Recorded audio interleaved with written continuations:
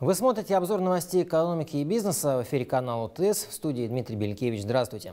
Выпуск начну с цифры дня. 4 миллиарда 560 миллионов рублей превысил совокупный доход самозанятых в Новосибирской области. По данным налоговых органов региона, за первое полугодие представителей этой категории налогоплательщиков стало больше на 20 тысяч человек, и сейчас таковых насчитывается 53 тысячи.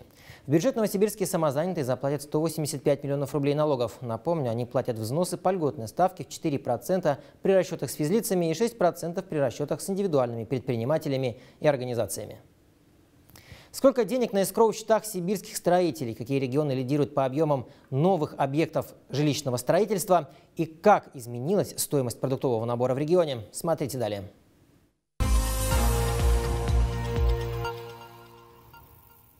В Сибири количество построенных с помощью эскроу финансирования квартир перешагнуло за 10 тысяч. Больше половины всего объема, это 5700 квартир, приходится на Новосибирскую область.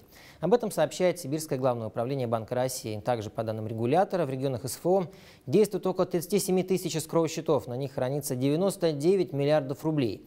Том числе 44 миллиарда – это стоимость квартир, купленных в многоэтажках Новосибирской области. А в целом в округе, по данным на 1 июня, действует 355 кредитов для застройщиков с общим кредитным лимитом 234 миллиарда рублей. Напомню, строить по старым правилам, то есть напрямую привлекать средства дольщиков, можно было, если на 1 июля 2019 года дом был готов на треть, а проданы были не менее 10% квартир.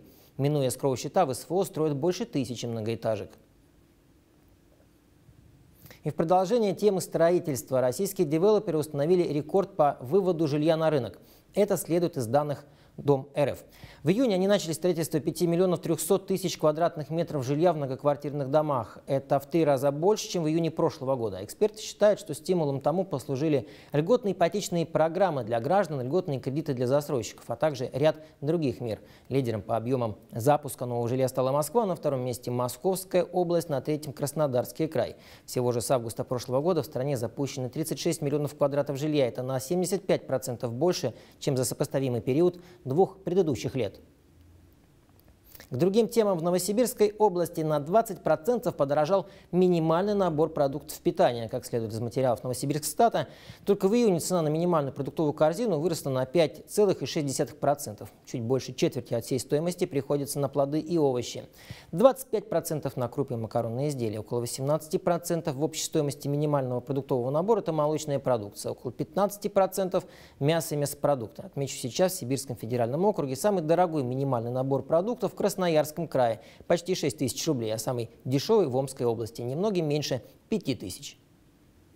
Тем временем подсолнечное масло в России начало дешеветь. К таким выводам пришли аналитики центра Савыкон.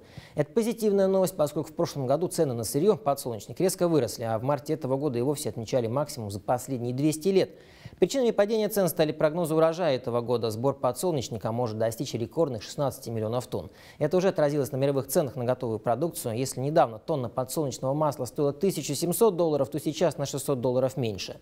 Кроме того, на падение цен повлияла экспортная пошлина, которую российское правительство с 1 июля.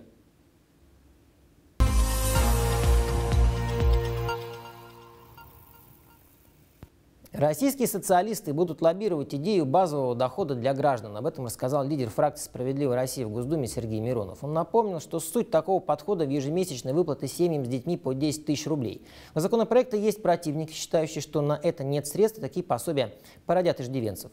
Сегодня в Фонде национального благосостояния заморожены 13,5 триллионов рублей. На первом этапе реализации справедливого базового дохода нужно 7,5 триллионов. Мы предлагаем деньги от сферы доходов от продажи углеводородов, которые сейчас все идут в ФНБ, делить, заявил Миронов. Он также огласил пропорции. 10% отчислять фонд, а остальное на обеспечение базового дохода. При этом лидер социалистов ссылается на научное обоснование, согласно которому деньги вернутся в бюджет ну, в виде налогов. Кроме того, еще одним резервом для обеспечения данной инициативы является возможность прекращения возврата НДС сырьевым компаниям. Это еще полтора триллиона рублей. На этом у меня все новости. В студии работал Дмитрий Белькевич. До встречи на канале УТС. Смотрите эфир и архив записи телеканала ОТС в сервисе Пирс ТВ.